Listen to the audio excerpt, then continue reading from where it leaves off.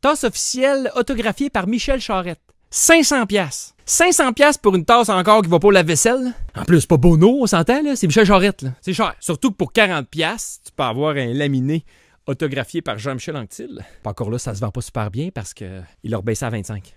C'est encore trop cher. Voyons donc. À moins de s'appeler Bernadette, là. C'est qui le cas qui achèterait ça? Oui.